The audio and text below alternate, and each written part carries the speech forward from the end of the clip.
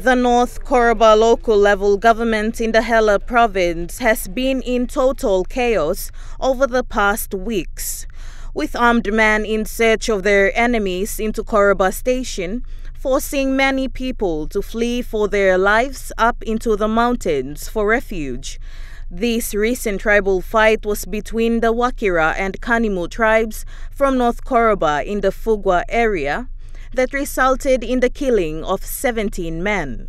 An appeal for peace was put forward by local Member of Parliament William Bando. Bando traveled to Fugwa and spoke to one of the warring factions, then proceeded on to Koroba Station, where the other warring faction was, and appealed to them to quit the tribal fight and sign a peace agreement.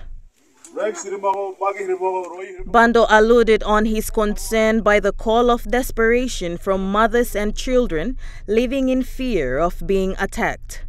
According to sources, hired gunmen under the barrel of the gun have been sexually abusing women and girls and grabbing anything they want. That had also upset the warring tribes.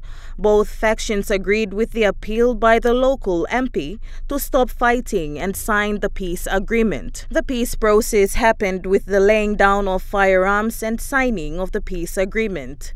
This was witnessed by government officers, police, defense force, church members, and local mediators and committee members.